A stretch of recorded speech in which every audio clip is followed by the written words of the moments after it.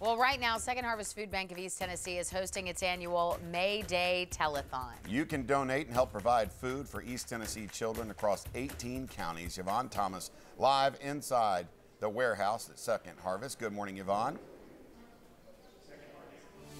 Abby Russell, good morning. The warehouse is full. All the partners are in place. The volunteers are standing by the phone lines and they are officially open. It is a little bit after six and we are ready to raise some money. Elaine Streno is here with us. Kind of talk to us a little bit about this program, especially how much it's needed as children are approaching the summer months. Well, this is our May Day fundraiser. It's focused completely on our children's feeding programs.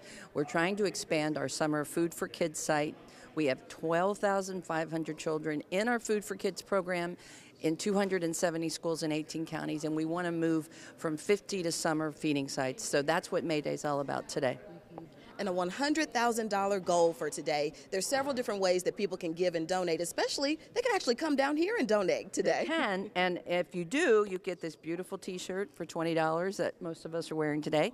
Um, so secondharvestetn.org is our online giving. Please um, know that a dollar provides three meals, so you don't have to give a lot today. Um, and then you can come down again and, and pick up the um, T-shirt, but also these great working volunteers behind us. 243-8227. I'd love to see them be busy this morning.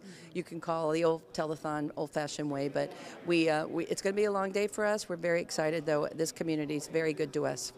And then last but not least, of course, how much have we already raised? Well, we had a very, very generous donor give us $20,000. So we are on a good, good walk to get to our goal um, by the end of the day today. But there'll be a lot of gifts coming in, and um, again, this is for the children in our 18 county service area.